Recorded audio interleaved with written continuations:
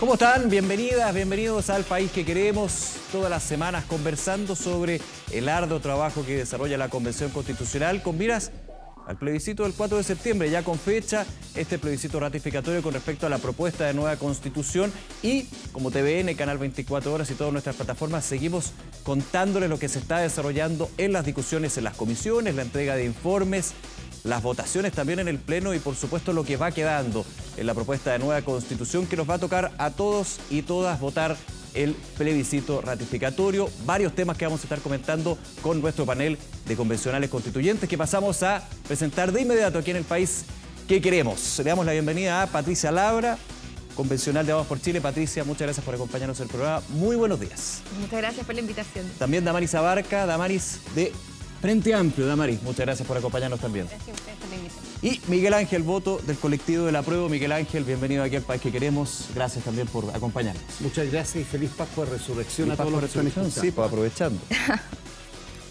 ¿Se pasarán huevitos durante la semana ahí en la convención o no? Aquí tendrían que haber estado los huevos. Sí, pues, quedamos poco, ¿ah? Solo quedó. chocolate, huevito. Solo- no, chocolate. por. Ya, vamos con tema. ¿ah? Eh, vamos a estar hablando de distintos temas en los minutos que estamos compartiendo con ustedes, pero quiero comenzar con uno de los puntos que fue debatido, discutido y que sigue generando análisis durante la semana en la Convención Constitucional. Tiene que ver con, aquí voy, tiene que ver con eh, el informe de la Comisión de Sistema Político. Vamos a comenzar con eso y ahí vamos también entrando en otros temas que ustedes quieran eh, poner aquí en la mesa. Patricia, comienzo contigo. Quizás lo más, no quiero decir bullado, pero sí discutido en términos del cambio estructural a, a- la institucionalidad es el fin del Senado, la llegada de la Cámara a las regiones y todo lo que conllevó también esta discusión del gran acuerdo, como se conocía en la Comisión del Sistema Político. ¿Cuál es tu visión al respecto y cómo se va desarrollando también? Hay distintos puntos que quedan todavía en conversación. Bueno, efectivamente, se anunció con mucho bombo, platillo este gran acuerdo. Eh, al final lo que se aprobó fueron cosas, claro, clave respecto del sistema político en el Pleno, pero tampoco quedó claro finalmente qué es lo que va a pasar con esta famosa Cámara de las Regiones, porque se habla de que esto sería un bicameralismo asimétrico, ¿cierto? Pero eh, por lo menos desde mi colectivo, mi sector, pensamos que está muy debilitada esta Cámara de las Regiones, porque solamente hasta el momento estaría teniendo atribuciones respecto de lo que son las leyes de acuerdo regional. Entonces, necesitamos un contrapeso más efectivo, ¿cierto?, entre este Congreso de Diputadas y Diputados, que va a ser muy fuerte, y el Poder Ejecutivo. Entonces, yo creo que todavía falta bastante que ir decidiendo en esta materia. Creo que se podría fortalecer a lo mejor esta Cámara de las Regiones, pero hasta el momento, así como está, yo creo que todavía no da para hablar de bicameralismo en sí. A ver, poniendo en el contexto también, se aprueba la creación de la Cámara de Regiones, otros temas por supuesto, pero me voy a concentrar unos minutos en este punto, y vuelve a la Comisión de Sistema Político lo que son las funciones. Damari, ¿cómo has visto esto? Y también desde el punto de vista de quizás como eh, el punto de duda sobre si efectivamente la Cámara de las Regiones va a tener peso con respecto a la otra Cámara, que en este caso sería el Congreso de Diputadas y Diputados, que también está en, eh, en discusión. Bueno, sí, efectivamente la Cámara de las Regiones es lo que se aprobó hoy en día, pero las competencias todavía no están del todo delimitadas. Eh, y yo creo que eso es parte de un trabajo bastante intenso y dialogante que está teniendo la Comisión de Sistema Político, que ya hemos visto cómo han llegado a ciertos consensos de manera transversal en esa comisión. Y por lo tanto yo creo que también es muy responsable que si las competencias hoy día no están del todo claras, vuelvan a la comisión y nos presenten un nuevo informe en donde esas competencias efectivamente les den capacidad de sobreponerse a lo que hoy día es la Cámara de Diputados. Pero tú dentro del Pleno notas eso, que efectivamente se tiene que seguir trabajando en profundidad para llegar a acuerdo y por sobre todo generar una instancia. Muchos dicen, bueno, si no se logra esto, hay que dejarlo al legislador. El problema aquí es que estamos hablando de incumbentes finalmente que estarían dentro de esta institucionalidad legislativa. Sí, o sea, las competencias imposible dejarlas completamente al legislador. Yo creo que el trabajo que se está dando hoy día de que muchas normas vuelvan a las comisiones para ser perfeccionadas es parte de eh, la metodología que se está utilizando y yo creo que ahí la ciudadanía a lo mejor muchas veces eh, piensa que cuando vuelven es un fracaso, no es así. Muchas de las propuestas y que pasó por ejemplo esta semana con sistema de justicia, Justicia que volvió completo, volvió digo. completo, a- muchas veces más eficiente. Porque de hecho, perdona, eh, pa- para quienes nos ven, se advirtió en un minuto por parte de los convencionales de que eh, era mejor rechazar en general para volver y tener más tiempo para. Exactamente, y eso es lo que muchas veces a lo mejor a la ciudadanía no le queda del todo claro. ¿Pero por qué? Porque es mucho más eficiente que vuelva un informe completo que puede discutirse a, por ejemplo, estar votando quizás las cinco horas y aprobar un 20% del informe. Entonces, tiene más tiempo, es mucho más eficiente y lo que busca es llegar a consensos mucho más transversales. Miguel, eh, Miguel Ángel, vuelvo al punto que, comenzábamos la conversación. El fin del Senado y lo que ha sido también esta discusión del sistema político, podemos mostrar también después a otros puntos, pero ¿cuál es la, visión que tiene al respecto? ¿Y cómo recibe el Pleno también desde esta conversación que se ha tenido que generar para llegar a un acuerdo transversal, no unánime pero transversal, desde la Comisión del Sistema Político? Algunos colectivos tampoco quedaron muy conformes con, de alguna manera, los cambios de actitud de integrantes del Pleno durante esa votación. Sí, efectivamente, yo creo que hay diálogos y diálogos, diálogos que algunos son más fructíferos que otros. Entonces, ¿de qué dependerá y desde dónde uno evalúa que sea más fructífero uno que otro? A mi juicio, de la capacidad de hacer sintonía con lo que está demandando la ciudadanía, con lo que está demandando también el poder político. Yo creo que ahí estamos al debe en este momento. Eh, efectivamente, del Poder Legislativo, 19 normas se aprobaron de 35 presentadas. Eh, el gran desafío entonces que tenemos durante la próxima semana es la definición de las atribuciones. Ah, yo creo y convencido, yo que nunca estuve metido en el tema de la política contingente o de los poderes públicos, eh, me he dado cuenta y he llegado al convencimiento más profundo que es necesario tener un, no una cámara espejo, pero sí una instancia que tenga la, la facultad de poder hacer filtros, de poder, de, porque hay mucho riesgo con un unicameralismo. Yo creo que el unicameralismo ha funcionado en algunos países, pero mi, convencimiento eh, más profundo es que creo que a Chile le falta mucha madurez política para tener unicameralismo. Tiene que haber un contrapeso, se ha hablado, por ejemplo... absolutamente convencido Pero de, que tiene que haber contrapeso. revisor, un contrapeso de facultades, porque aquí se está planteando, por lo menos estamos obviamente a la espera de lo que va a ser esa discusión o conversación, pero de cámaras que tienen funciones completamente distintas una de otra. Mira, yo, yo creo que a mí, para, a mi juicio, hay tres, tres temas que son fundamentales que debiera tener este contrapeso. Primero, cuando no hay acuerdo, no se alcanza ciertos quórum, a mi juicio debiera establecerse comisiones mixtas. En El segundo lugar, creo que es fundamental también poder establecer la participación de esta Cámara Territorial en, lo relacionado con la ratificación de los tratados internacionales. Y en tercer lugar, eh, me parece también importante eh, poder eh, establecer el tema de las acusaciones constitucionales que también debiera tener atribución esta segunda Cámara.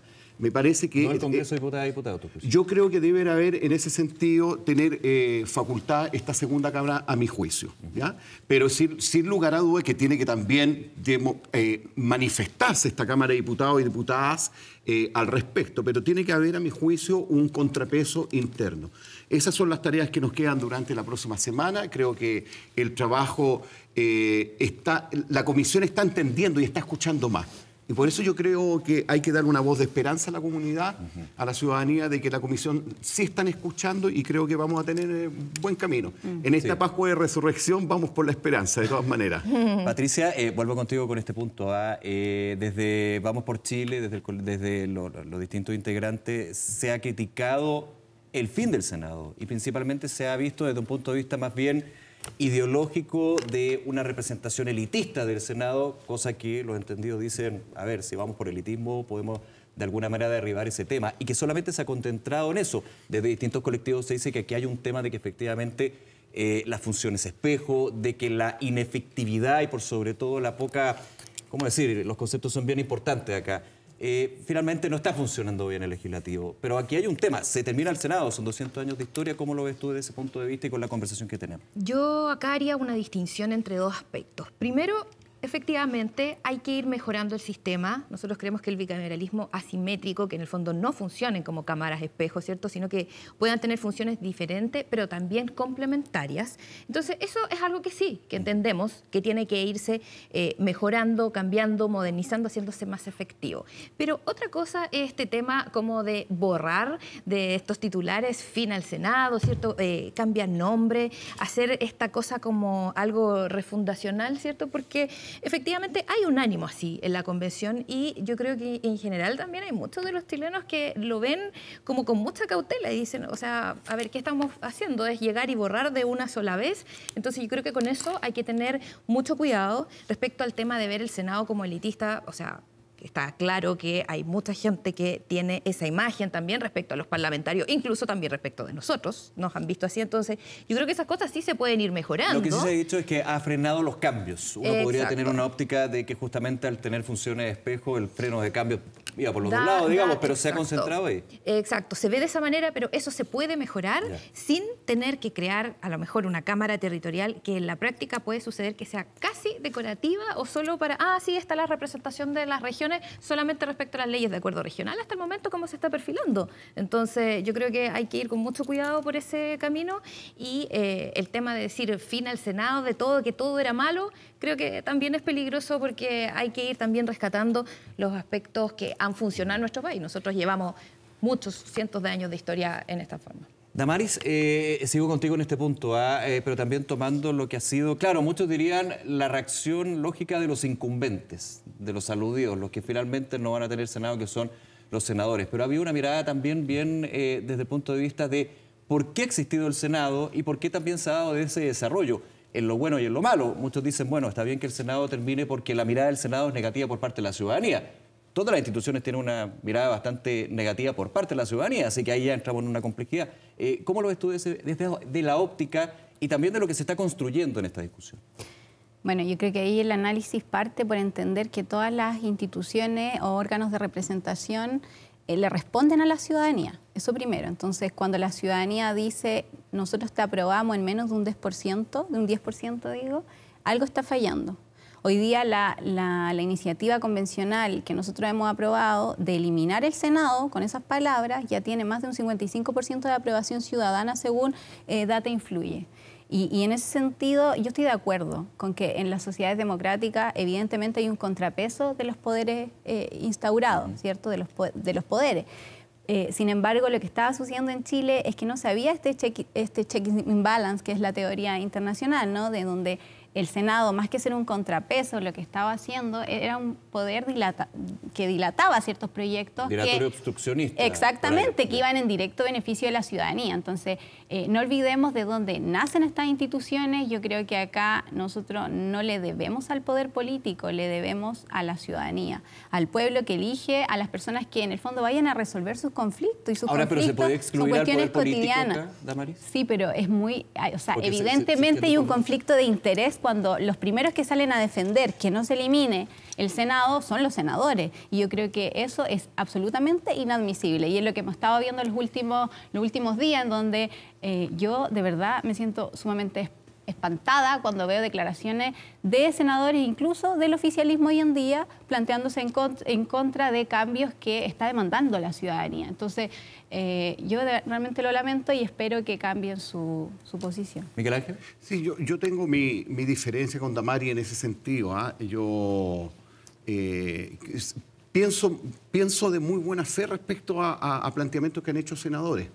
Eh, yo creo que ellos han hecho planteamientos políticos y hay que escucharlos con, toda la altura de mira necesaria.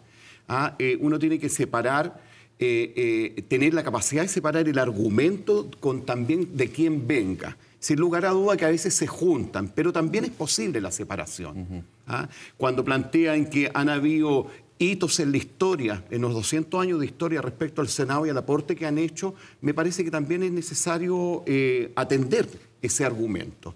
Yo creo que uno de, los grandes desafíos que nosotros tenemos como convencionales, constituyentes, es tener justamente esta altura de mira, de poder tener la capacidad de separar quién lo dice del argumento mismo, del contenido, y mirarlo pensando en Chile y mirando además que lo que me parece fundamental es teniendo claro que mis argumentos los tengo que poner en la mesa, más tus argumentos, y ahí lleguemos a un acuerdo. Yo lo que le llamo tener la capacidad de llegar a los mínimos comunes y desde ahí construir. Y eso es lo que yo echo de menos. Cuando tú decías estamos un poco al debe, más bien por ese punto de vista también. Sin lugar a dudas estamos al debe. Yo creo que ha faltado diálogo, de todas maneras, de todas maneras, ha faltado diálogo en la convención. Y, es por eso que yo siento esta voz de esperanza, porque creo que estas últimas dos semanas se está escuchando más. Y por eso que tengo una, mirada más positiva eh, que hace un mes atrás. Esto ha sido muy dinámica, las expectativas que hemos tenido los convencionales. Ha sido una dinámica de expectativas no solo de nosotros, también de la comunidad porque nosotros somos un ciudadano más. Yo, yo en lo personal nunca estuve metido en un cargo público, un cargo de gobierno, ni parlamentario, ni asesor, nada. Soy un ciudadano más que tuvo el honor de haber sido elegido y por lo tanto también respiro, pienso y siento desde donde vengo. Patricia Laura, eh, ¿compartes lo que dice Miguel Ángel? Se ha escuchado más, desde Vamos por Chile han sido muy críticos justamente en este punto en particular y más allá de eh, eh, el poder conversar o no, que esto se eh, refleje finalmente en una propuesta de nueva constitución que tenga la mayor amplitud posible, digamos. Es un poco el, objetivo que uno desde afuera, digamos, buscaría de esa discusión. Hay cosas que son muy difíciles de congeniar y a todos nos pasa, digamos, pero mm. para lo que es el proyecto de nueva constitución, ¿estás de acuerdo con lo que dice Miguel? Yo creo que el Pleno ha aportado una cuota de moderación, ¿cierto? Y también ciertos mensajes que a veces uno levanta, porque a nosotros nos dicen, no, que vamos por Chile, que está obstruyendo, etcétera, pero no es ese el punto, sino que nosotros también eh, llevamos voz de la ciudadanía y mensaje de alerta respecto a que hay que moderarse en ciertas posturas, cosas que a lo mejor no van por un buen camino. Entonces, en ciertos puntos hemos coincidido con mayorías en el Pleno, ¿cierto? Y por eso también se han devuelto normas para poder darles una segunda vuelta, digamos. Pero eh, ¿qué es lo que está pasando? Yo creo que en las comisiones está saliendo el trabajo muy, eh, no sé si decirlo sesgado, pero solamente cargado hacia esa mayoría en comisión. ¿Y qué es lo que pasa? Que muchas veces después en el Pleno no están esos acuerdos o esta mayoría que tomó las decisiones en la comisión después no se refleja en el Pleno. Entonces, eh, si bien es importante que vuelvan las normas para que se vayan mejorando, pero tampoco es lo óptimo. Entonces, nosotros siempre pensamos, si nosotros a lo mejor pudiésemos tener la oportunidad de ser más escuchados, porque tampoco vamos a negar que hay un sesgo, no digo nombres tal o cual persona, pero hay muchos convencionales que tienen clarísimo y que no quieren que nada de la pluma de la derecha quede en la nueva constitución, y eso es una realidad innegable, o sea, se ve el nombre de dónde viene la iniciativa o la indicación y según eso eh, lo votan a favor o en contra, o a veces si una idea nuestra es buena, después presenta la mayoría otra con un par de palabras cambia, pero no queda la de la derecha. Entonces, yo creo que esas cosas hay que irlas superando. Eh, yo entiendo cómo es la democracia, ¿cierto? Y que, lógicamente, son los grupos mayoritarios los que deciden. Pero cuando estamos hablando de una nueva constitución, yo creo que tenemos que también poder eh, ampliar un poco la mirada, ver que nuestro momento de elección fue, ¿cierto?, el reflejo de algo que estaba pasando en el país en ese momento, pero esto es dinámico. Entonces, no quiere decir que las fuerzas que están en la convención se representen igualmente afuera respecto a los apoyos y, quiero seguir en la mesa de esta conversación también contigo, pero desde una mirada bien positiva, porque muchas veces nos quedamos con, con, lo bullado, tratando siempre de explicar por qué vuelve a las comisiones, algunas mm. veces porque no hubo acuerdo nunca o porque finalmente hay que afinar algunos detalles. Y es parte de este proceso finalmente que busca perfeccionar cada una de las normas. No estamos haciendo cualquier cosa, estamos haciendo la constitución que va a regir durante 40 y años más.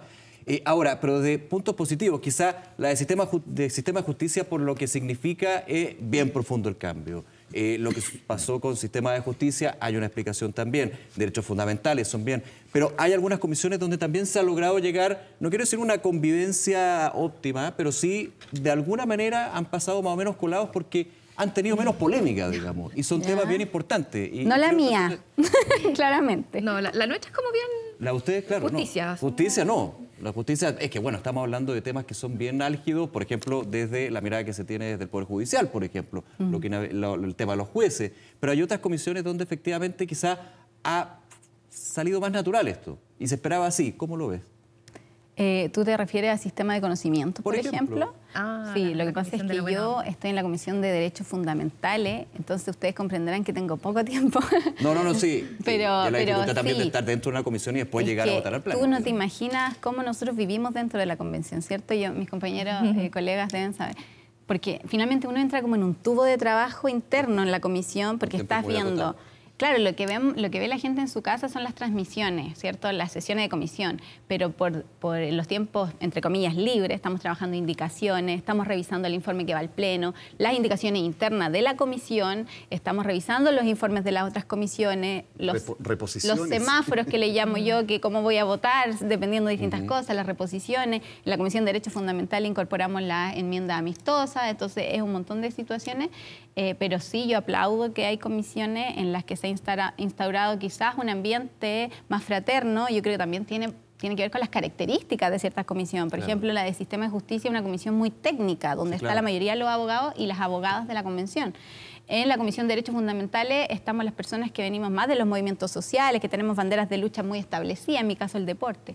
Y ahí en el sistema, en el sistema de conocimiento siento que existe este amor por la cultura, por las artes, por el patrimonio. Porque son temáticas que pueden haber eh, miradas más, más, más, más, transversales, digamos, también para entender un poco que no nos ven hasta ahora. Muchos ven las comisiones como entes totalmente autónomos, pero que son temas totalmente... Y, y no, fíjate que nosotros ya tenemos instaurado un sistema que son los enlaces transversales, en donde van uniendo ciertos enfoques, por ejemplo, por decir algo, derechos humanos. Evidentemente la comisión nuestra de derechos fundamentales, de los 25, por decir algo, eh, artículo aprobado, 24 tienen mirada de derechos humanos o, todos. Eh, y así van uniendo lo que está pasando con las otras comisiones. Y luego viene ahora, para que la gente esté al tanto, una comisión de armonización y aparentemente está levantando la de eh, normas transitorias, en donde tienen que ir conectando, porque hay cuestiones que se ven en el sistema de justicia nosotros en el sistema de conocimiento, con la Comisión de Derechos Fundamentales, estamos muy conectados porque vemos derechos, los derechos culturales, ¿cierto?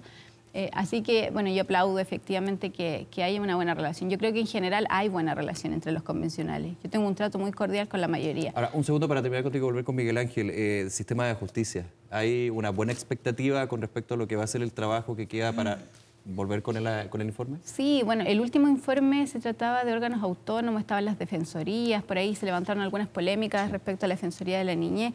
Yo creo que hay muchos temas eh, que efectivamente se están tomando con mucha seriedad. Y yo ahí aplaudo eh, primero el trabajo que han hecho los coordinadores de esa comisión, Vanessa Hop y Cristian Viera, que es mi colega del Frente Amplio, que realmente yo creo que lo han hecho espectacular, llegando a amplios consensos eh, y tomando la responsabilidad de que si tiene que volver un informe, bueno, que vuelva y tengan el tiempo para perfeccionarlo. Miguel Ángel, en ese punto.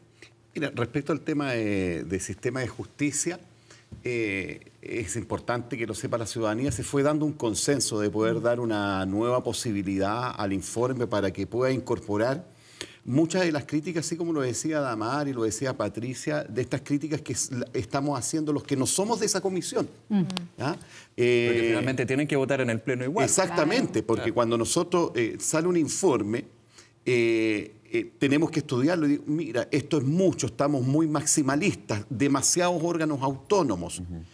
Pero todos esos análisis y esas propuestas no tenemos la posibilidad de hacerlas a las otras comisiones por el exceso de trabajo que tenemos. Entonces, ¿qué hacemos en ese sentido? Empezamos a conversar antes que lleguemos al plenario. Oye, ¿te parece? ¿Seguimos con esto? Mejor lo mandamos de vuelta o votemos esta norma en contra para que le demos una segunda oportunidad. Y en el caso del sistema de justicia, ¿esa fue la conversación que finalmente toma la comisión para votar, eh, rechazar en general finalmente? Con Pero absolutamente, claro, absolutamente. Creo que se fue dando un consenso bastante considerable.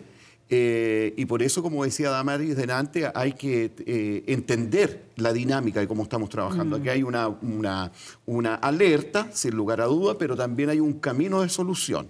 ¿ya? Y en eso estamos. Además que yo he estado transmitiendo desde ya hace una semana a todas las entrevistas que me han ido haciendo de que este es un texto constitucional que es parte de un proceso. Aquí no, no, termina la vida ¿ah? de, constitucional. Aquí queda un parlamento que puede trabajar, que puede ir mejorando ¿cierto? las normas constitucionales. También decirle a la comunidad de que los, los quórum para modificar la constitución no van a ser tan amarrados como lo que tiene la actual constitución. Claro, ya no, ya no existirían si se aprueba la propuesta de nueva constitución los supramayoritarios. Exactamente. por lo, con lo exacto, por lo tanto, en mi mensaje es a entender que esto es un proceso que tenemos que seguir avanzando y esto no se acaba acá, no se acaba con el plebiscito salida. Ahora, Hay mucho trabajo que hacer. Un segundo ahí, eh, Miguel Ángel, tú decías, eh, finalmente el legislador también tiene que ir perfeccionando o adecuando lo que es la Constitución, no va a durar 50, 40 años igual, digamos, porque las sociedades, ya lo sabemos, también es parte de esta conversación, Puede ser, van cambiando. Pero desde el punto de vista, ¿cómo ves tú lo que se ha señalado desde el Congreso con respecto, bueno, si esto no queda tan bien como debería, tendremos que tomarlo nosotros y irlo reformando en el camino? Bueno, sin lugar bien, lo toman mal, uno lo ve como que... Yo lo personal lo tomo bien, porque ellos son representantes de la ciudadanía, ellos tienen las facultades para poder hacer modificaciones al texto constitucional, para además adaptar el texto constitucional a, leyes que, de aplicación. Mm. Porque hay muchas cosas que están referidas a la ley de acuerdo a lo que determine la ley. Terminan muchos artículos así. Bueno, al Congreso le tocará esa pega el día de mañana y si no, este Congreso en cuatro años más será, digamos, para el próximo. Yo creo que esto es un proceso, para mi juicio yo estoy absolutamente en una voz de esperanza eh, porque sí vamos a tener muchísimas cosas buenas en este nuevo texto y yo me la estoy jugando por el, por el apruebo en el plebiscito de salida. Creo que uno tiene que en algún momento tomar una decisión política por qué camino voy a seguir. Y por otra parte, que sin lugar a duda que esta es la gran posibilidad de poder borrar la, la constitución de la dictadura. Patricia, y quiero seguir con ese punto. Has hablado mucho de declaraciones, claro, declaraciones hay de todo, digamos, y hay que tomarlas, y hay que eh, conversar en ese sentido, pero por ejemplo la mirada de ex autoridades como Ricardo Lagos, eh, la fundación de la, ex, de la expresidenta Michelle Bachelet, el propio presidente Gabriel Boric, que dijo aquí no es solamente un tema comunicacional, aquí tiene que buscarse eh, los puntos de vista, también miembros de eh, autoridades políticas españolas que dicen que aquí es, no es de una izquierda, es de toda la izquierda y más. ¿Cómo lo ven ustedes también, desde la crítica también que han tenido a este punto que estamos conversando? Sí, yo creo que eh, como se ha llevado ahora a cabo el proceso, eh, información ha existido. Creo que eh, la forma así en que se va a comunicar de ahora en adelante es muy, muy importante. Porque, a ver, hay algunos convencionales, como por ejemplo Miguel Ángel, que dice que ya está pensando en que la prueba sería la opción más conveniente. Yo he querido tomar una posición muy cautelosa porque creo que todavía falta. Ahora, si a mí me pregunta, dentro de cómo va el proceso, con lo que está, yo si el plebiscito fuera, no sé, el próximo domingo, yo no lo aprobaría, yo rechazaría. Pero quiero esperar a que podamos avanzar un poco más, quiero dar eh, como este tiempo, esta esperanza, como dice también mi colega Miguel Ángel, respecto a que las cosas puedan mejorar. Inevitable ir tomando posiciones, digamos, pero para la ciudadanía siempre se dice, bueno, esperar el texto final. Lo que pasa es que igual la ciudadanía se informa de las discusiones, los temas y uno también puede tener una mirada general. Eh, Para eso está este tipo de programas, por ejemplo. Exactamente. Entonces yo creo que también tenemos que tener cuidado, tanto los que digan apruebo como rechazo ahora, porque así como nos dicen, oye, tú estás haciendo a lo mejor campaña del rechazo desde el principio, oye, pero hay gente que está haciendo campaña la apruebo desde el principio, a lo mejor independiente de lo que salga, solo por decir que vamos a votar la constitución de Pinochet. Creo que hay que tener un poquito más de eh, apertura respecto a eso y ver qué es lo que puede ir pasando y cómo se van dando los procesos, como por ejemplo con estas voces que han levantado las alertas respecto de que, oye, cuidado por cómo va el proceso. Entonces, yo creo que todavía hay que esperar, queda tiempo, pero en su momento cuando haya que tomar una definición, nosotros también como constituyentes creo que tenemos todo el derecho y la responsabilidad de hacerlo. Eso ya va a ser un trabajo que va a depender también mucho de cómo llegue la información a la ciudadanía, que sea ojalá lo más objetiva posible. Yo por lo menos siempre trato de hacer en ese trabajo de que la gente sea la que juzgue respecto de qué es lo que se está aprobando y lo que no. Me estoy adelantando bastante con esto, pero creo que también ahí, Damaria, hay un punto con lo que dice Patricia. Cuando termine el trabajo de la convención, ustedes como convencionales, que ya le hemos tenido con pega hasta los sábados, altas horas de la noche. Y el domingo también. Y domingo aquí también. estamos y seguimos. Y aquí estamos. ustedes. Se agradece. Eh, también, luego de terminado el trabajo de la convención, por norma, eh, se va a tener que decir esta es la propuesta y difundir a través de quien ha estado trabajando en la redacción de esta nueva constitución. Me estoy adelantando mucho, yo lo sé, falta todavía lo que es el proceso, pero ahí hay un desafío bien importante en dar a conocer lo que va a ser el texto final, ¿no? Sí, en un abrir y cerrar de ojos sucede lo que tú estás diciendo. Y en un tiempo muy acotado para septiembre. Y yo estoy de acuerdo con Miguel Ángel, porque finalmente este proceso constituyente no nace ni muere con la Convención Constitucional. Estas son demandas ciudadanas sentidas por la ciudadanía por muchos años, en donde dijimos, estamos cansados y cansadas de la palabra inconstitucional. Esa es la famosa palabra, ¿cierto?, que escuchamos cuando, cuando hablamos, por ejemplo, del derecho humano al agua, que tanta falta eh, hace en nuestro país, más de un millón de personas se sigue, eh, eh, tiene agua con camiones aljibe. Entonces, ese es el cambio de paradigma, y estoy de acuerdo, no basta con este sentimiento de querer cambiar la constitución de Pinochet. Eso ya lo ganamos cuando votamos a prueba en octubre. Ahora lo que estamos ganando es un cambio de paradigma, cambiar un Estado social democrático de derechos, conseguir que el agua sea un derecho humano, que los niños ya no sean objetos, sean sujetos de derechos. Son tantas cosas buenas que trae la nueva propuesta. Animales, los animales. Eh, pero para mí, por ejemplo, la infancia, incorporar derechos nuevos, el derecho a la vivienda, el derecho al deporte, o sea, incorporar y avanzar a un Estado moderno. Así que yo llamo, obviamente, a que la gente se informe y aprobemos esta nueva constitución. Clave esto. Se me acaba el tiempo, muy buena conversación. Patricia, Miguel Ángel, Damaris, nuevamente muchísimas gracias por acompañarnos este domingo aquí en el programa. A Reitero, feliz Pascua Resurrección. Igualmente, para usted. ¿eh? Que esté muy bien. Gracias por la invitación. Sigue el programa, sigue el país que queremos, por supuesto, revisando cómo va quedando la nueva constitución. También uno de los temas que está en discusión ahí en el Pleno, en este país que queremos. Vamos y volvemos de inmediato, no se vayan. País que queremos y como toda la semana vamos revisando cómo está quedando la propuesta de nueva constitución con nuestros dos expertos que nos van aterrizando los conceptos y también lo que significa cada uno de los artículos. Marisol Peña, abogada constitucionalista académica de la Universidad del Desarrollo. Marisol, como siempre, gracias por acompañarnos. Feliz, Nicolás. ¿Qué tal? Buenos días. Y don Tomás Jordán, abogado constitucionalista académico de la Universidad Alberto Hurtado. Tomás, un placer como siempre. Bienvenido. Hola, Marisol, un gusto como siempre. Bien, vamos a revisar lo que tiene que ver con eh, el informe del sistema de justicia, parte de lo que ya está en la propuesta de nueva constitución.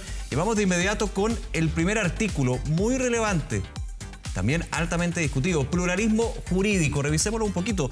El Estado reconoce los sistemas jurídicos de los pueblos indígenas, los que en virtud de su derecho a la libre determinación coexisten coordinados en un plano de igualdad con el sistema nacional de justicia. Estos deberán respetar los derechos fundamentales que establece la Constitución, tratados e instrumentos internacionales sobre derechos humanos de los que Chile es parte. Ojo que esto es bien relevante y ahí eh, te hago la pregunta, Marisol. La ley determinará los mecanismos de coordinación, cooperación y de resolución. Un tema bien relevante en este pluralismo y estos sistemas de justicia que se ha establecido. Tal vez partir diciendo que mm, esta norma sobre pluralismo jurídico viene a aterrizar la idea de la forma de Estado plurinacional, que como hemos dicho en programas anteriores supone el derecho a la libre determinación de los pueblos originarios. Ahora, segunda idea importante es tal vez explicarle a los televidentes que cuando hablamos de sistemas jurídicos indígenas no se imaginen constituciones, leyes, códigos, sino que están constituidos básicamente por las costumbres, por las tradiciones. Ese punto es clave, las costumbres y tradiciones. Exactamente que se han ido repitiendo de generación en generación. Y es ese conjunto de costumbres, de tradiciones, las que son colocadas en un plano de igualdad con eh, el actuar, las competencias que tienen los tribunales que conocemos que son establecidos por la ley. Claro, costumbres, tradiciones, Tomás, y que aquí van a tener que convivir si se acepta y se aprueba, por supuesto, esta propuesta de nueva constitución y este punto del pluralismo jurídico. Y lo decía, la ley va a determinar los mecanismos. Sí, aquí hay dos cuestiones. Una, Marisol dice una cosa muy interesante, que es, esto es un aterrizaje, eh, algo específico sobre la plurinacionalidad. Como tú reconoces este derecho a autogobernarse y también reconoces también sus formas de resolver los conflictos jurídicos, a través de la costumbre, a través de sus autoridades ancestrales, cómo ellos resuelven estos asuntos. Ahora bien, eh, el, borrador de texto constitucional dejó a la ley que especificara la forma en que, entre quiénes se va a resolver, qué materias va a resolver y en qué espacios territoriales. Lo ideal, a mi juicio, es decir que algunos elementos clave hubiesen estado en la Constitución, pero será el legislador que nos diga si va a ser entre las personas que pertenecen a los pueblos o entre personas indígenas y no indígenas, en qué materia, ya van a ser civiles, penales, comerciales o familiares, o y en qué espacios geográficos, si la, costumbre indígena sigue a la persona o más bien en un espacio acotado territorial. Eso está por verse.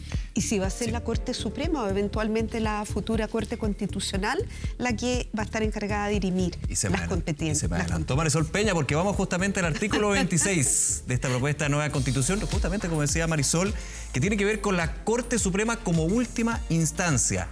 Leo brevemente, impugnaciones contra las decisiones de la jurisdicción indígena. La Corte Suprema conocerá y resolverá de las impugnaciones deducidas en contra de las decisiones de la jurisdicción indígena en sala especializada y asistida por una conserjería técnica integrada por expertos en su cultura y derecho propio en la forma que establezca la ley. Un buen punto ahí lo que iba Marisol Tomás en términos de que esta última instancia es el máximo tribunal que tiene que dirimir las impugnaciones. Sí, eso es bien interesante porque al existir, a coexistir y por lo tanto funcionen y existen de manera paralela, una de las cuestiones que quedaba pendiente era quién resuelve en última instancia cada uno de los conflictos, tanto la justicia nacional, que se llama así lo que nosotros conocemos habitualmente, como la justicia indígena. Y se resolvió en estos días que fuera la Corte Suprema el último tribunal que permitiera unificar, ordenar la jurisprudencia hacia abajo, cosa que me parece que es correcta de esa manera. ¿Es correcto también? Sí. Es difícil decir que es correcto o no, ¿ah? porque depende del sistema que adopte cada país. En Bolivia, que ya tiene un Estado plurinacional, como sabemos desde el año 2009, el órgano encargado de dirimir esos conflictos de competencias es el Tribunal Constitucional Plurinacional. Y a mí, a mí me gusta más personalmente esa solución, ah, porque al final los conflictos de competencia tienen que ver con las atribuciones. Por lo tanto, es una especificación, a ti que te gustan las especificidades, Tomás, del principio de separación de funciones eh, y tareas entre las autoridades del Estado. Uno son las competencias y otro va a ser resolver en última instancia cuestiones que no solamente van con competencias, que tienen que ver con eh, impugnar una sentencia o una resolución anterior. puede ser en materia de familia, en materia penal, en materia de comercio. Seguimos con otro artículo. Independencia jurisdiccional, imparcialidad y exclusividad. Esto atañe a los jueces, a los juezas que ejercen jurisdicción, dice el artículo, y son independientes entre sí y de todo otro poder o autoridad. Independencia, ahí es bien importante ese punto, debiendo actuar y resolver de forma imparcial. En sus providencias solo están sometidos al imperio de la ley. Marisol. Que como la... hace también, hay que decirlo, ¿no? Obviamente que sí. Mira, la independencia, la imparcialidad de los jueces es la principal garantía que tenemos los justiciables, las personas que nos enfrentamos o que nos vemos involucrados en un conflicto jurídico. Y en términos simples significa que nos garanticen que el juez no se va a inclinar previamente hacia un lado determinado ni que tampoco va a ser objeto de presiones. La Comisión de Venecia, que ha estado muy de moda a raíz del requerimiento que le hizo el Senado para precisar varias materias referidas con este proceso constituyente, en uno de sus informes sobre la independencia judicial dice que el sentido de la independencia judicial es que la principal labor del juez es tutelar los derechos y libertades de las personas. Tomás. Sí, muy interesante. En esa misma línea, ahí la independencia se liga a que ningún otro poder se pueda inmiscuir en lo que resuelve los sistemas de justicia y por lo tanto que tenga la plena autonomía para resolver los conflictos jurídicos que se someten a su consideración.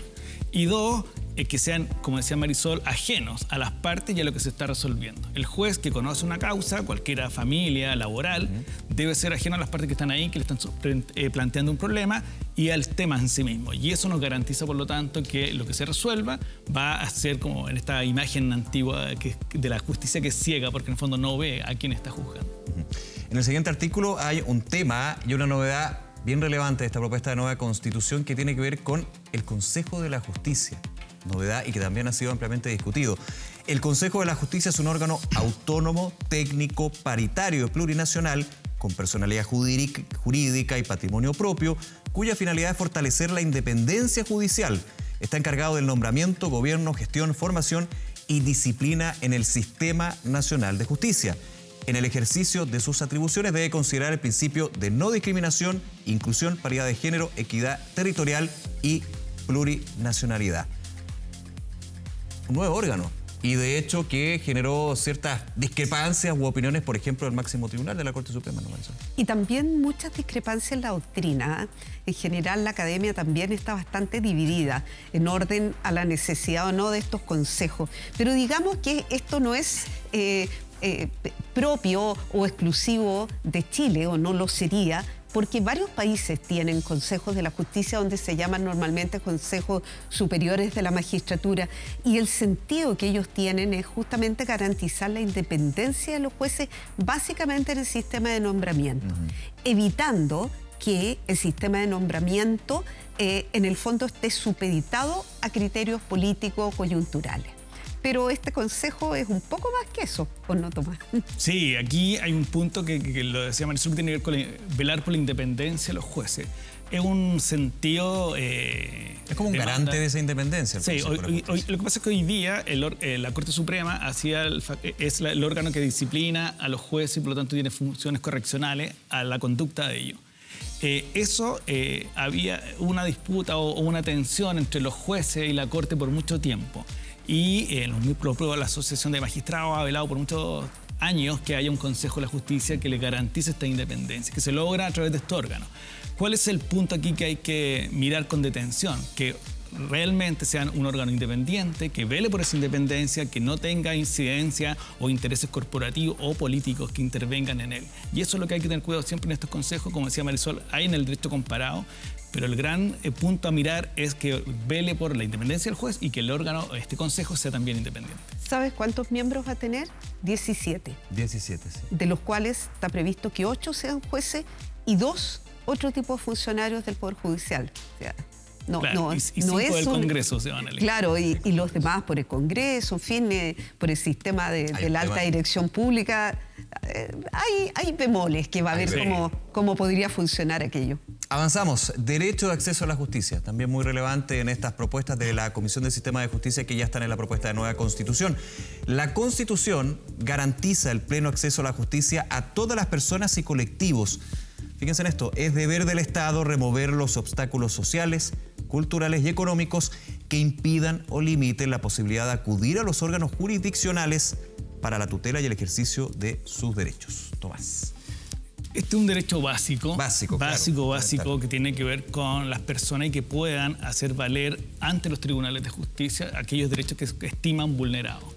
Entonces, lo que tú, en un Estado te tiene que garantizar a todos nosotros es que puedas acceder a la justicia. Y eso tiene que ver, por ejemplo, con la gratuidad, por ejemplo, con las reglas claras del debido proceso, que tú tengas un juez que está establecido con anterioridad, cosa que esa resolución de tu problema esté garantizado de que va a ser, volviendo a lo anterior, imparcial, independiente y todo eso eh, garantiza tu acceso. Por ejemplo, el derecho a la, debe- a la defensa. a la defensa gratuita eh, es parte del derecho a la justicia. Y ahí tiene que ver con una frase que utilizaba, remover obstáculos, por decirlo de alguna manera, que es parte seguramente de la obligación que va a tener el legislador de ver, de garantizar que estos obstáculos se vayan removiendo. Claro, y viendo cuáles son los obstáculos, que son bastante amplios en términos económicos, sociales, culturales, lo que indica este artículo.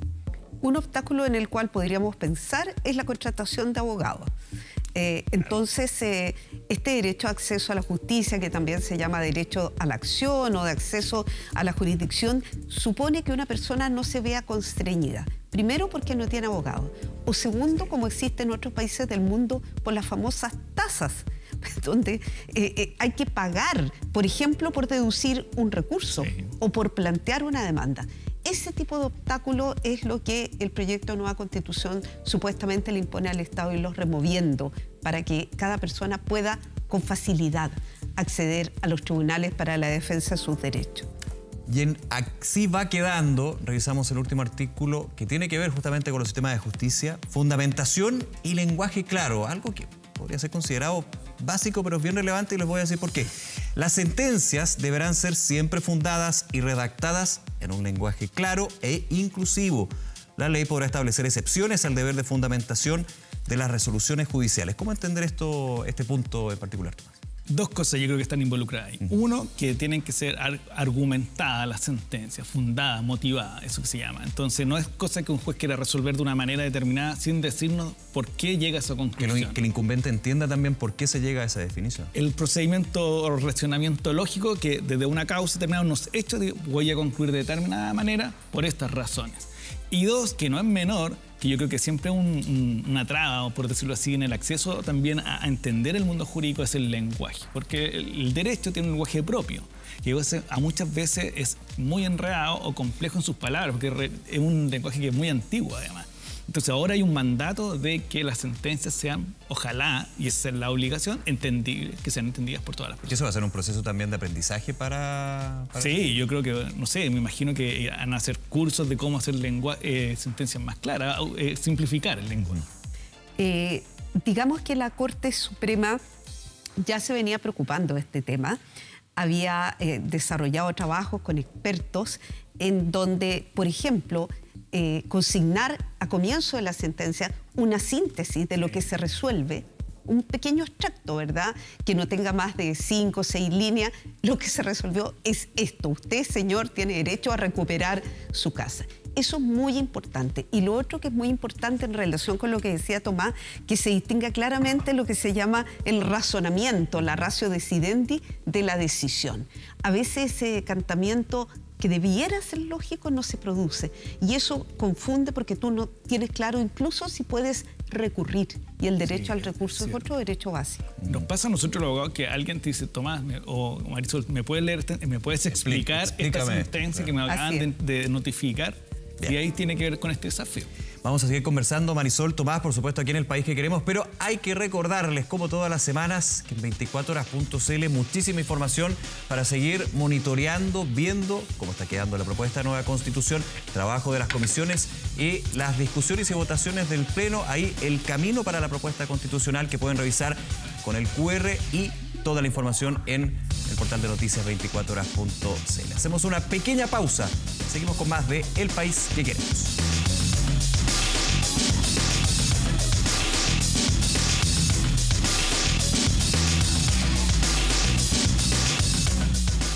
Lo que ha sido la información del trabajo de la Comisión de Derechos Fundamentales, clave en este punto y vamos a eh, ya presentar a nuestros invitados aquí en el panel del país que queremos. Miriam Enríquez, abogada y académica de la Universidad Alberto Hurtado. Miriam, muchas gracias por acompañarnos. ¿Qué tal? Muchas gracias, mucho gusto. José Manuel Díaz de Valdés, abogado constitucionalista y académico de la Universidad del Desarrollo. Muchas gracias, José Manuel. Bienvenido al país que Muchas gracias por la invitación. Bueno, y nuestros habitués, por ejemplo, por, como, por ejemplo, como siempre, Marisol Peña, Tomás Jordán, gracias por acompañarnos aquí en el programa. José Manuel, quiero comenzar contigo y antes de entrar a algunos puntos que, que estábamos conversando sobre lo que son derechos fundamentales y también a los conceptos. Y quiero ver uno que es bien relevante, es clave, digamos, en el ordenamiento que tenemos en el país, que es la igualdad ante la ley. Vamos explicándolo un poquito, hagamos la bajada y también cómo se ha visto desde la conversación en la convención. De acuerdo, mira, la igualdad es un concepto, un macro concepto, porque tiene muchas bajadas distintas y se relacionan a serie otros contenidos que ve justamente la Comisión de Derechos Fundamentales. Cuando tú hablas, tú hablas de salud, de educación, etcétera, estás pensando en algún sentido en la igualdad también. Entonces, la igualdad ante la ley tiene un sentido más formal o clásico, en que tú buscas que las personas sean tratadas igualmente o, ojo, desigualmente si están en situación desigual, porque no todos estamos siempre en la misma situación. Por ejemplo, una mujer que ha tenido un hijo, está embarazada, tiene ciertas prerrogativas especiales frente a un hombre que no está en esa situación. Entonces, hay cierto espacio para la diferencia también. Pero además hay una dimensión de la igualdad que es bastante más ambiciosa, que no es solo la igualdad de trato, sino que va más bien a ver las condiciones de vida concretas de las personas y cómo las normas cuando se te aplican, te impactan en, en, esas condiciones concretas. Y en eso, digamos, la Convención ya ha dado ciertos pasos y quizás lo más relevante es que aprobó una norma de igualdad sustantiva que se llama. La igualdad sustantiva es la igualdad más ambiciosa, la que busca ver la realidad concreta de las personas. Y aquí hay algo bueno y algo malo. Lo bueno es que sí, claro, es un avance porque es una etapa superior, podríamos decir, de igualdad. Lo malo es que es una igualdad que es muy excepcional, porque un ordenamiento jurídico tiene que, tiene que lidiar con la generalidad que se llama. Es decir, yo no puedo hacer una norma para cada persona en cada situación. Por ejemplo, si yo hago una norma de máximo de velocidad, 120 km por hora, yo no puedo empezar a distinguir si tú vas apurado o no para aplicártela. O si tú, digamos, tienes alguna razón, no sé, mayor de que tú, por ejemplo, no sabes leer bien los 120 que otra persona. La norma no ve la persona, ve el máximo cuando se pasa el máximo. Para todos igual. Entonces yo no puedo siempre estar diferenciando. Por eso la igualdad sustantiva complementa, pero nunca sustituye la igualdad base, que es la igualdad de trato. Miriam, seguimos un poquito con lo de igualdad ante la ley y cómo también ha sido tu visión respecto al trabajo de la convención, punto relevante a esto de la igualdad sustantiva y este derecho fundamental también. Sí, yo quisiera retomar el punto de vista de José Manuel y, la verdad es que la igualdad formal va a permanecer en la Constitución, esta igualdad de trato. Yo creo que eh, la igualdad sustantiva complementa esa igualdad formal porque de alguna manera esa igualdad formal, esta igualdad ante la ley, no se concreta en la realidad. Y entonces es necesaria esta igualdad sustantiva justamente para poder enfocarse en los resultados. Claro. Y, en ese sentido la, norma, que ya forma parte del borrador de texto constitucional, establece una igualdad sustantiva para todas las personas. Esto, esto, es bien importante porque, en definitiva, está reconociendo esta necesidad de que todas las personas tengan esta igualdad de otro tipo. Y, perdón, y parte importante de las demandas sociales, cuando se habla o se hace el enunciado de que en Chile no son actualmente todos iguales ante la ley. Por, por supuesto, y de hecho incluso dice, esta igualdad sustantiva va a permitir la integración, va a permitir la diversidad y también que tengan un espacio de reconocimiento a aquellos grupos que históricamente han estado excluidos u oprimidos, dice la, norma. Pero además contempla una, igualdad en materia de género. y, quisiera decir que es en materia de género no binaria y por lo tanto no solamente considera las mujeres, sino que también las niñas, las diversidades, las disidencias sexogenéricas para que puedan gozar de sus derechos y además tener una posibilidad ante los órganos del Estado y también ante los distintos vías de la organización civil. Ahora, esta, esta igualdad formal que se complementa con la igualdad sustantiva permite de alguna manera superar esta tautología de tratar por igual a los iguales o eventualmente tratar de manera diferente a aquellas personas que se encuentran en distintas circunstancias y requiere su mandato al legislador fundamentalmente para que realicen acciones, realicen estrategias que están marcadas, por ejemplo, en materia de eh, igualdad sustantiva de género para evitar la violencia, para evitar los estereotipos, para darle voz a las mujeres y poder participar, por ejemplo, en la toma de las decisiones, y también para identificar cuáles son esos sesgos eh, socioeconómicos que claramente dificulta a, a las personas, como las mujeres, las niñas, las disidencias, en fin, otros grupos desaventajados para alcanzar un goce igualitario de los derechos. De alguna manera, no, sé si el concepto de actualizar, pero sí eh, dejar eh, en, la Constitución y en la norma lo que es eh, el Chile de hoy, podríamos decirlo, digamos, en un enunciado. Y, quiero tomar ese punto de mirada contigo, Marisol, en la igualdad ante la ley. Claro, porque muchos dirían, ¿hay un cambio sustancial de la igualdad ante la ley como concepto, como principio, como derecho en lo que va a ser una eventual nueva Constitución? Yo pienso que actualmente eh, en la constitución que está vigente teníamos de alguna manera los dos tipos de igualdades. En el artículo 19, número 2 actual, en el inciso primero está esta igualdad de trato, a la que se ha referido José Manuel y también Miriam. Pero ya en el inciso segundo, cuando se le ordena al legislador y a toda autoridad que no discrimine arbitrariamente, se le da un gran mandato al legislador para precisamente no introducir diferencia respecto de lo que la doctrina llama las categorías sospechosas. Y las categorías sospechosas son una variedad increíble. Si nos pusiéramos a definir todos los casos de categorías sospechosas... una categoría sospechosa, por ejemplo? La orientación sexual. Claramente. De tal manera que yo pienso que de alguna manera estaba incluida.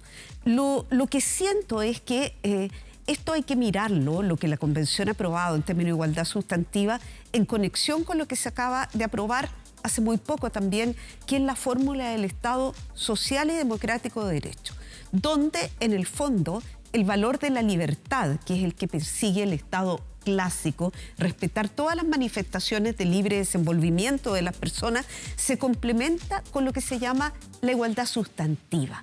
Y esto tiende, en el fondo, a un rol mucho más activo de la autoridad, sin descartar ciertamente la colaboración con los privados, en orden a eliminar situaciones de inequidad, de injusticia, de invisibilidad, de franca desigualdad. Tomás. Sí, muy complementando lo que, lo que dice Marisol, porque es un tema bien interesante, que esta dimensión de la igualdad sustantiva eh, busca también una finalidad un punto de llegada, por decirlo de alguna manera. Que todos tratemos de ser iguales en ese punto de llegada, un camino a.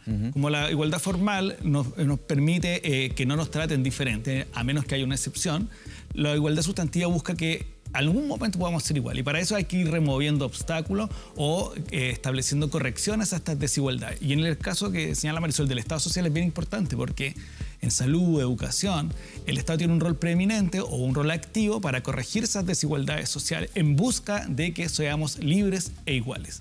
Y esa es como una fórmula que, se, que a partir de la consagración de Estado social con igualdad sustancial o sustantiva va a ir encaminándose hacia allá.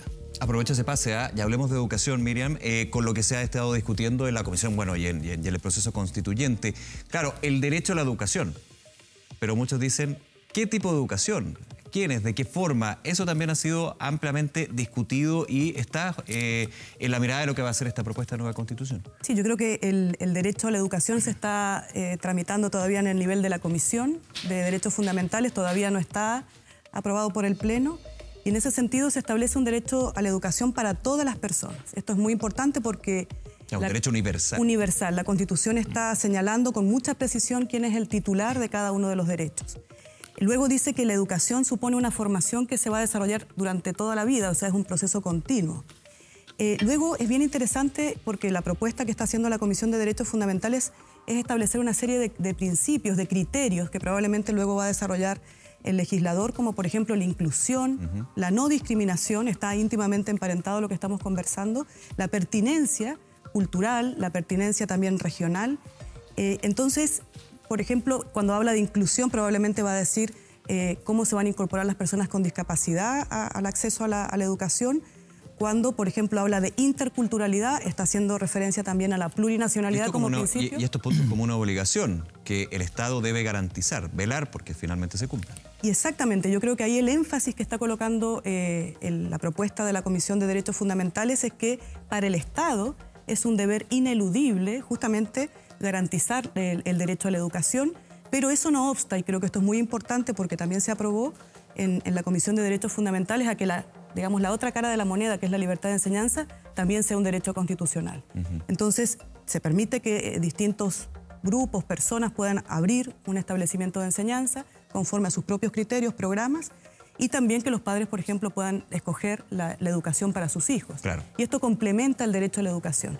Pero no obsta entonces a que haya colegios particulares y que, por supuesto, el deber del Estado sea principalísimo para garantizar este derecho. Esta es la propuesta. Esa es la propuesta. José Manuel, eh, eh, sigo con ese punto ¿ah? y, aprovecho eh, tu experiencia y conocimiento para ver el derecho comparado, digamos, de lo que se está hablando de educación en la comisión. ¿Hay similitudes con algunas constituciones del mundo que vayan por ese lado con lo que mencionaba Miriam? Mira, en derecho comparado hay de todo, desde países que no reconocen expresamente un derecho a la educación hasta países que tienen un gran desarrollo.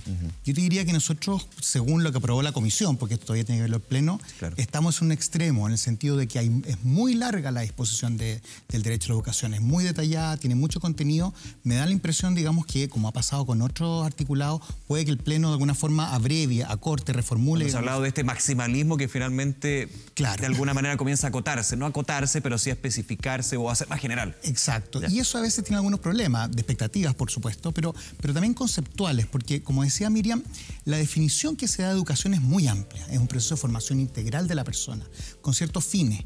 Y ahí tomo un texto de derecho comparado del, del, Pacto Internacional de Derechos Económicos, Sociales y Culturales, ya que es de la ONU.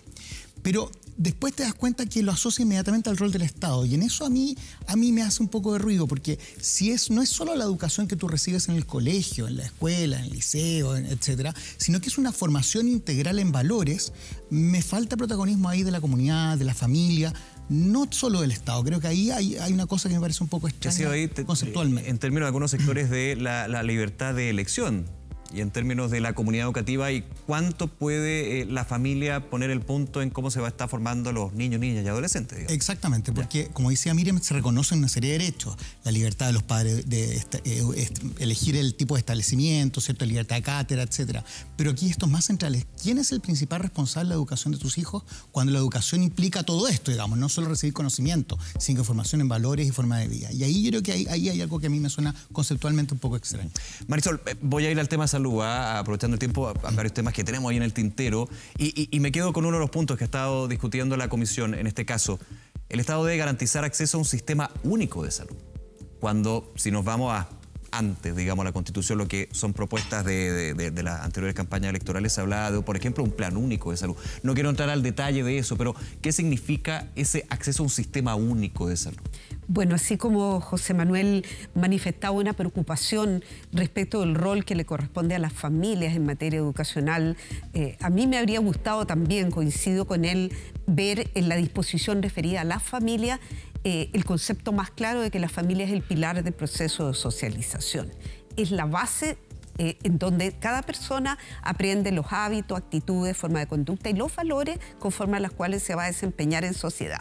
Pero voy a la pregunta, no me estoy corriendo. Tiene que, tiene que ver eh, también con el tema de la fórmula del Estado social. Y, y como yo lo veo, me parece que hay que desmitificar la idea de que la consagración constitucional de la fórmula del Estado social y democrático de derecho signifique ponerle una lápida, lápida a la subsidiariedad en el sentido de solidaridad.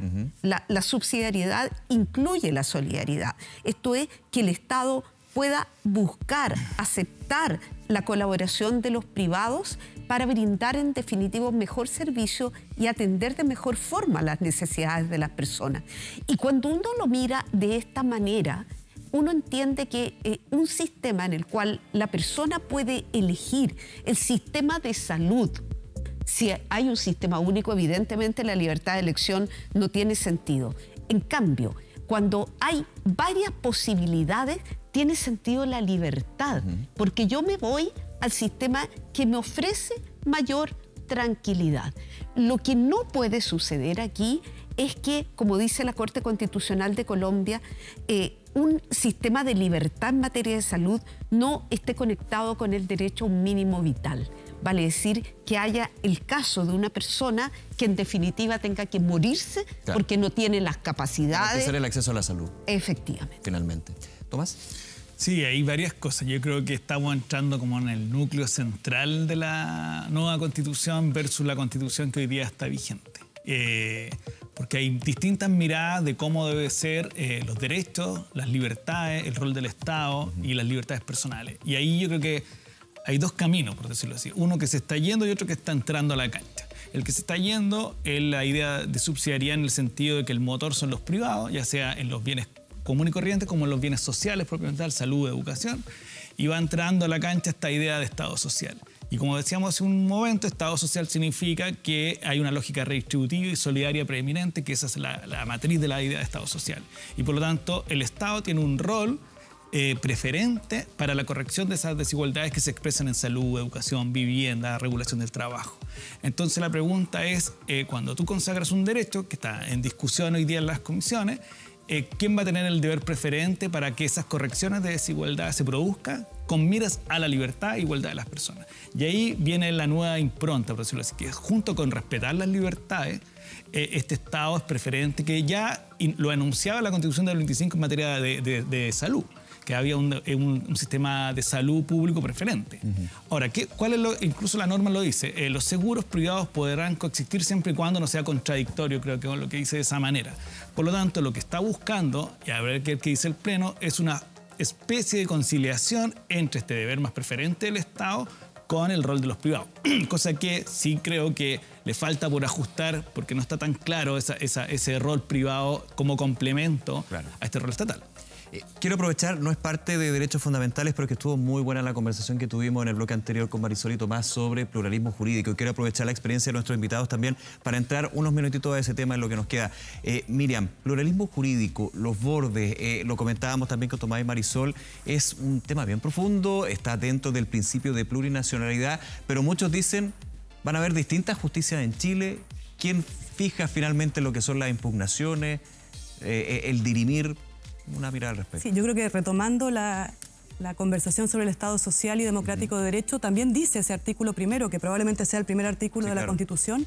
Ya es la propuesta. Ya es la propuesta, que es eh, el Estado también es plurinacional e intercultural.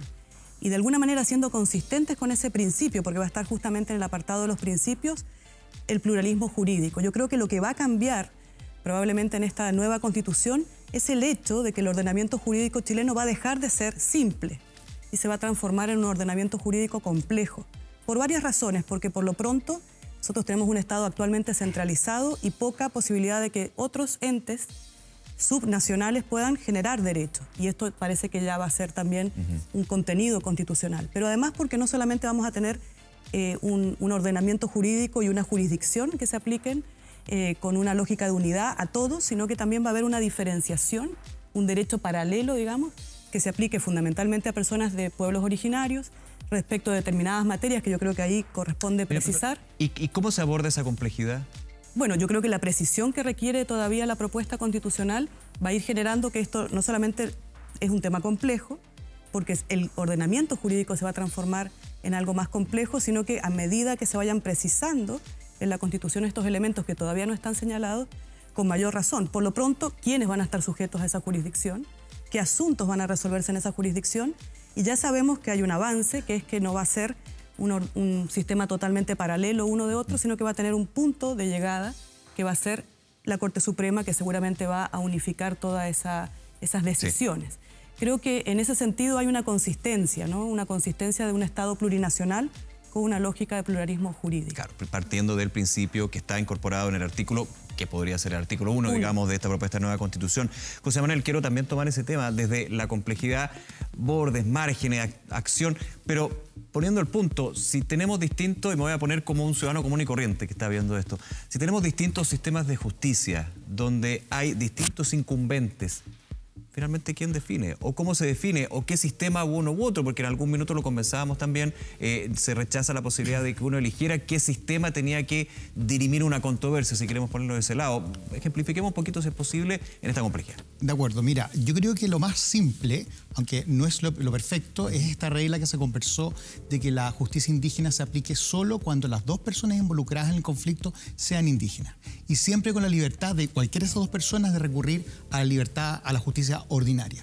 Yo creo que no es perfecta, pero soluciona gran Al parte sistema de los justicia nacional, podríamos Exacto. Ahora, te agrego dos cosas más. Una es que eh, un- un- una dificultad adicional aquí es que no todos nuestros pueblos originarios tienen el mismo desarrollo jurídico. Entonces, quizás cuando tú haces esta regla estás pensando en uno o dos pueblos, pero son mucho más. Sí, porque de hecho lo decíamos en el bloque anterior, costumbres y tradiciones con Marisol y, y Tomás es clave eh, eh, en esto que estamos conversando. Exactamente, y además que no todos tienen, insisto, no todos tienen el mismo desarrollo en ámbitos distintos. O sea, puede que sí lo tengan en el ámbito comercial, ponte tú, pero no en el tipo civil. Entonces, eso es complejo. Y lo segundo, volviendo al tema de los derechos fundamentales, ahí también se nota esto, digamos, del- de la plurinacionalidad. El hecho de que tanto en salud como en educación, a pesar de que se da un rol relevante al Estado, como decía Tomás, esto es muy importante, fíjate que se crea una gran autonomía para los, para los pueblos originarios, tanto en salud como en educación. Y eso yo no sé qué tan fácil sea de aplicar, y perdón el escepticismo, lo encuentro súper complicado. Porque, ¿qué va a pasar cuando el Estado, si el Estado ve que los mínimos de, de esta formación valórica que quiere entregar no se den, o cómo lo va a controlar? Claro. O qué pasa con el derecho, por ejemplo, que hay en el sistema, en, según los tratados internacionales, que tú accedes a una educación laica. ¿Cómo se aplica eso en una cosmovisión indígena? Yo creo que ahí hay una serie de problemas que vamos a tener que ver cómo solucionarlos. Marisol Peña. Fíjate que eh, escuchaba a José Manuel atentamente y, me acordé de aquella disposición del convenio 169 de la OIT sobre pueblos indígenas y tribales en países independientes, que señala que eh, eh, el respeto a las tradiciones y costumbres ancestrales de los pueblos indígenas tiene un estándar y el estándar de respeto tiene que ver en primer lugar con el catálogo de derechos fundamentales que están garantizados en la Constitución Nacional, pero también con aquellos que están garantizados en los tratados internacionales de derechos humanos. Eso creo que es importante apuntarlo en este momento porque tú has estado, Nicolás, eh, muy preocupado también de informarle a los televidentes de límites, ¿verdad? Claro. Y nos invitas a hablar de límites. Y yo creo que eso hay que tenerlo como carta puesta sobre la mesa. Tomás. Sí, yo, yo siguiendo lo, lo que vienen comentando, eh, me parece que está pendiente fijarle los contornos más de detalle al pluralismo jurídico.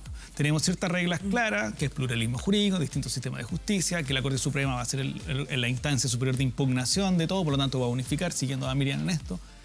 Pero nos queda lo que José Manuel señalaba y, y- y- y- y lo- y- y complementaba a Marisol, que es a quiénes o entre quiénes, qué materias y cuáles van a ser esos espacios geográficos donde se va a aplicar. Que a mi parecer hubiese sido ideal, pero se rechazaron en estos días ciertas normas, era que, se queda- que quedara en la Constitución. Se va a aplicar entre personas de un mismo pueblo, se va a aplicar a tales materias al menos o, o- o máximo según cómo se, se visualice. Se rechazó que fuera excluida de la materia penal, que era una cuestión muy dificultosa de, de abordar. Y también el espacio, si, si la- si las normas de la costumbre van a ocupar en un espacio determinado geográfico o va a seguir a la persona, por decirlo de alguna manera. Porque también los pueblos se eh, viven en distintas partes de Chile, por lo tanto, eso yo creo que queda pendiente y ojalá se pueda como especificar para dar mayor seguridad. Se nos acaba el tiempo.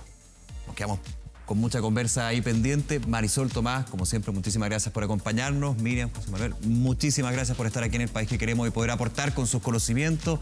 Eh, son varios temas ahí que estamos tratando en el programa. Gracias. que esté Muchas muy bien. gracias. Un placer, como siempre.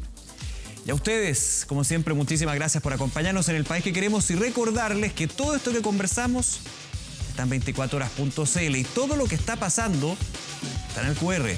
Revisando el QR en esta aplicación que les entregamos para seguir los artículos, las propuestas, de qué se trata, en qué etapa va, ya está la propuesta de nueva constitución o no, de todo y más en 24horas.cl para ir siguiendo este proceso constituyente que también conversamos aquí en el país que queremos. Que esté muy bien, un gusto, nos vemos, chao.